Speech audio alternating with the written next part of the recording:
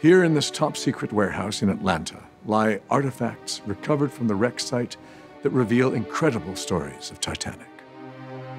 The collection of artifacts, painstakingly maintained by the salvor in possession of the Titanic wreck, EMG, contains clues on the clear definition between the three classes on Titanic.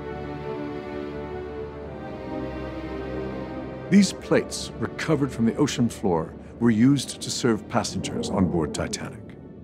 First, you have the first class here. This wasn't actually used in the dining saloon. We believe this belonged to the special service, which would have been used to serve meals in, in the cabins. You can see it's got a, a wonderful cobalt blue and gold decoration. It has the Oceanic Steam Navigation Company monogram in the center of it, and that was the parent organization of White Star Line. This decoration uh, was able to survive immersion in the salt water, uh, whereas the other chinas uh, washed away, so all we can see is a, a haze of what they looked like.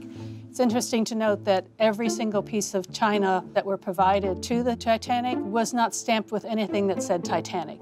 So if anything says Titanic, it's a fake.